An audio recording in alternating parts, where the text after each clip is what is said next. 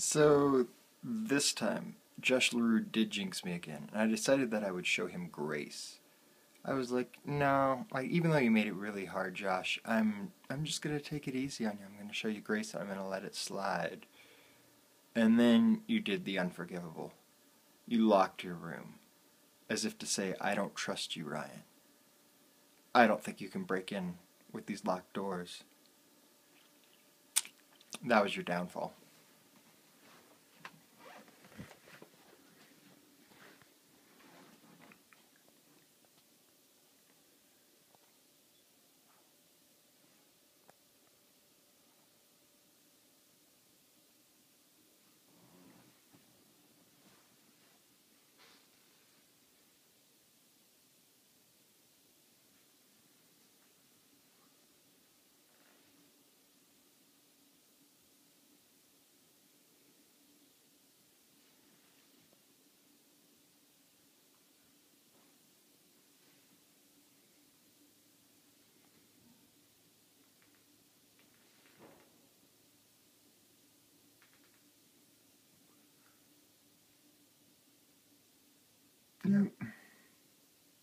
As if locking the door did anything.